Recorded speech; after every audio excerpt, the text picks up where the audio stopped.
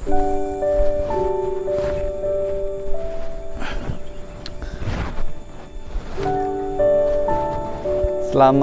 sore sahabat terkasih.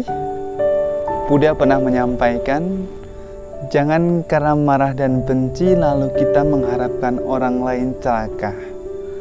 Selayaknya ini perlu kita renungkan dan kita tanamkan dalam hati kita masing-masing.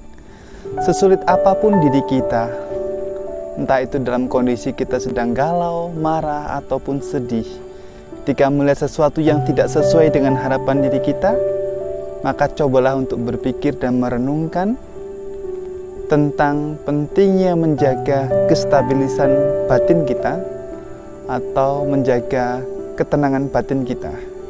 Karena ketika kita marah dan benci lalu kita berpikir mengharapkan orang lain celaka, sesungguhnya orang yang pertama kali celaka itu adalah diri kita sendiri. Perasaan tidak nyaman, perasaan dongkol, gelisah, ataupun perasaan yang penuh dengan emosi itu sesuatu yang tidak baik, sesuatu yang celaka untuk diri kita. Kenapa? Karena ketika kita mengharapkan mengharapkan orang lain menderita, sesungguhnya yang menderita terlebih dahulu bukanlah orang lain, namun diri kita sendiri. Karena itu, yuk mari sama-sama kita longgarkan hati kita untuk bisa memaafkan baik memaafkan diri kita yang pernah punya kesalahan ataupun memaafkan orang lain. Terima kasih.